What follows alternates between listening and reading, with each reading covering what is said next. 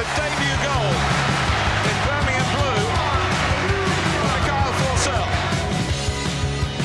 Forssell mounts for his second. Put in a pace and Forssell is there.